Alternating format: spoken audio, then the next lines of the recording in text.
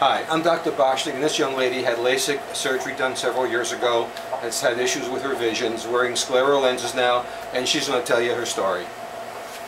Yes, good morning. Um, I had um, LASIK surgery about um, 15 years ago, and I kept noticing that my eyesight was getting worse, and also when I would read, I would see like a little tiny blur in the mirror, in the middle. And unfortunately, because of my profession, I have to read a lot.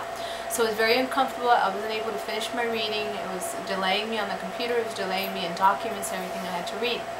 Um, my cousin uh, talked to me one day about Dr. Boshnick, and my cousin was very happy with him. So I came to see Dr. Boshnick. And Dr. Boshnick then uh, prescribed these lenses for me that actually are reshaping my cornea because I didn't know that because as, as after LASIK and time goes on, the um, LASIK actually um, degenerates the eye in that it it's not doesn't have its natural curvature. So therefore these lenses have given me the natural curvature uh, where before light would interfere with my vision, now light doesn't interfere with my vision.